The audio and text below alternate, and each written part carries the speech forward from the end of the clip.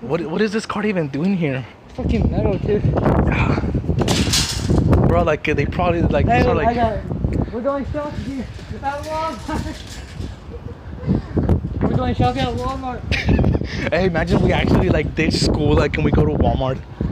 Nah, but like, what is this? Like a shopping cart for like from Fortnite? Like, did this came like from Fortnite? Like, did, like did our did our rift like randomly open up and just like came from there or what? Oh no, look at From the Fortnite universe, Look at Target. This looks like a Target. Target? It looks like this. This is No, something like Target would have. did that Look, like that- this looks like a Target shopping cart or a Hobby Lobby.